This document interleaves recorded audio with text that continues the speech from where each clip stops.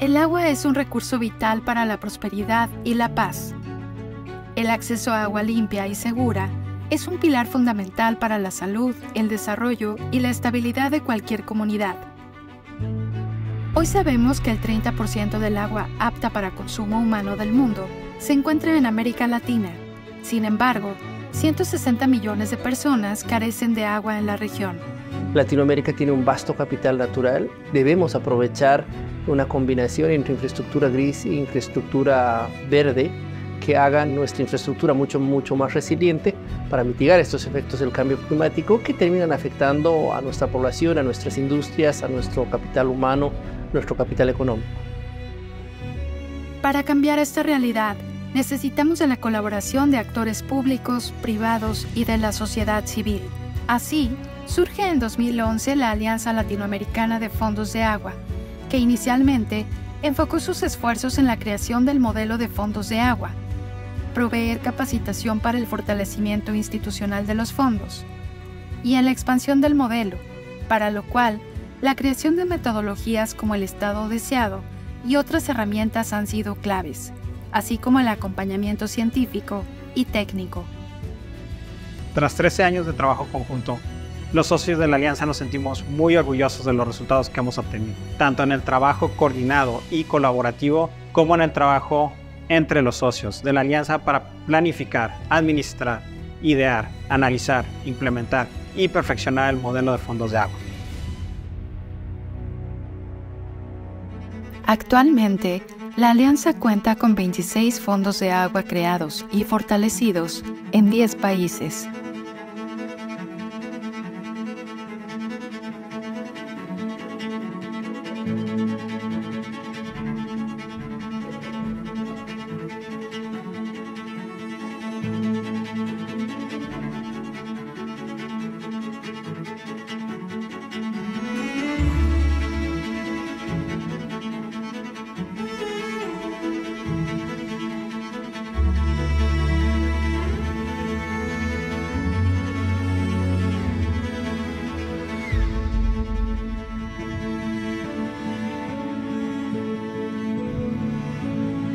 Tras 13 años, los socios de la alianza han invertido 50.3 millones de dólares, que con los recursos levantados por los fondos han apalancado más de 249 millones de dólares.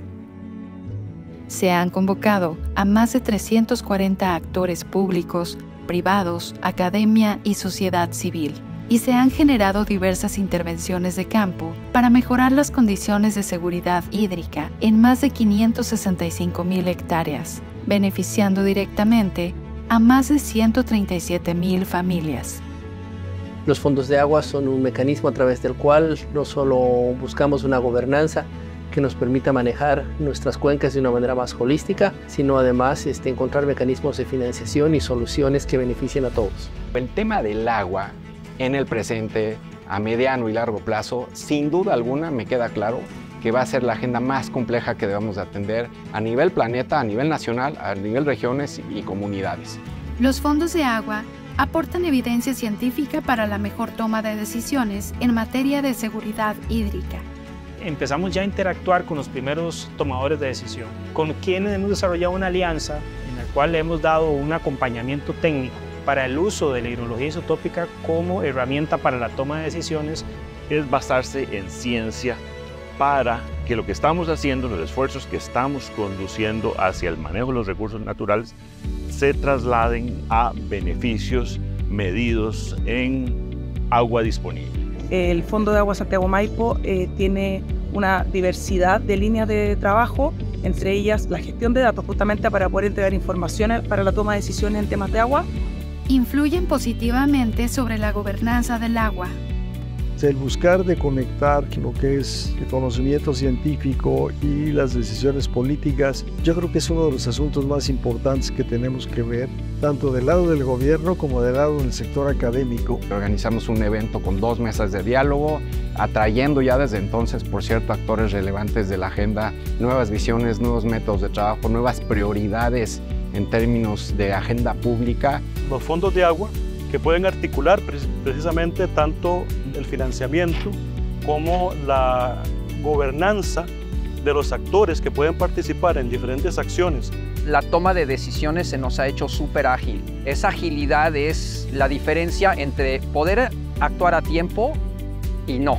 El reuso de agua y eficiencia hídrica para poder eh, mejorar tanto nuestra, nuestra disponibilidad de agua como también eh, disminuir las demandas que cada vez son más crecientes. Promueven e implementan soluciones basadas en la naturaleza. Aquí donde nosotros nos encontramos es donde está situado el proyecto de reabastecimiento de agua de la microcuenca Maumita. Este proyecto se ha enfocado en reforestación de manera que podamos asegurar la recarga hídrica.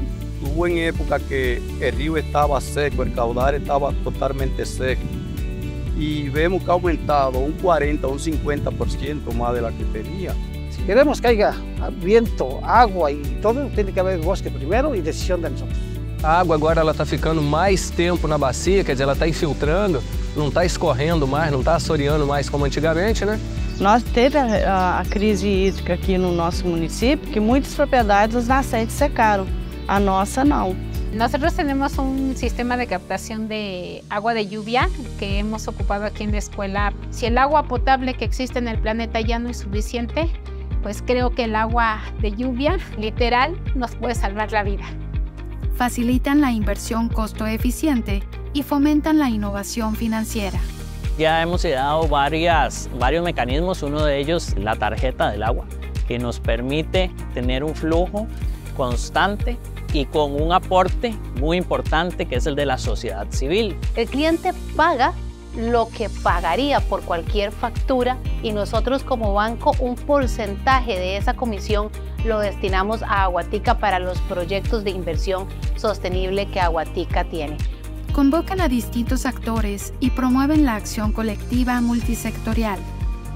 Que seamos distintas organizaciones, que sea un fondo público, privado y de la sociedad civil, eso trae a alinear, digamos, estrategias para que el fondo tenga mayor impacto.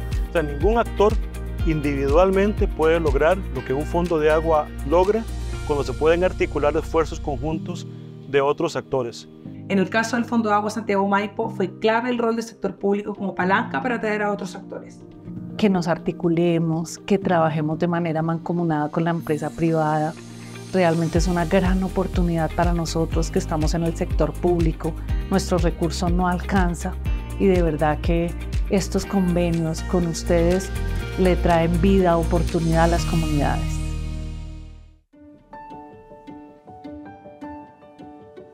Hoy urge de empresas que tengan en su ADN la sostenibilidad. Somos muchos los involucrados, entonces es importante que, que puedan acercarse y ojalá conozcan del trabajo que se ha hecho, que ha sido muchísimo. Estamos haciendo más bien un bien para el país, un bien a la naturaleza y un bien para la comunidad.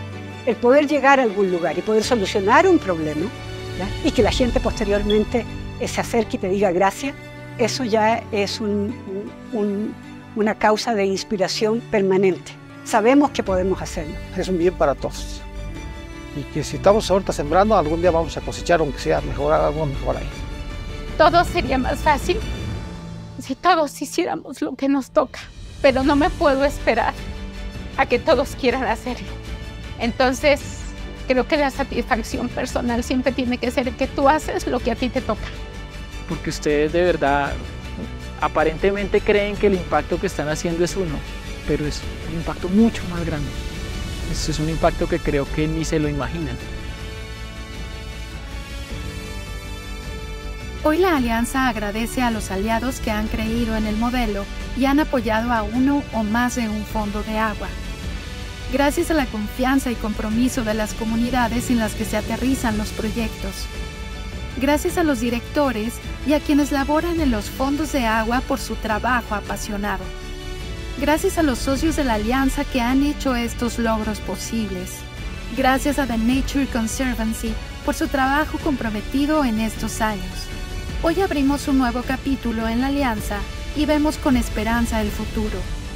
En 2025, anunciaremos una nueva estructura para seguir trabajando por un futuro próspero y con agua para la región.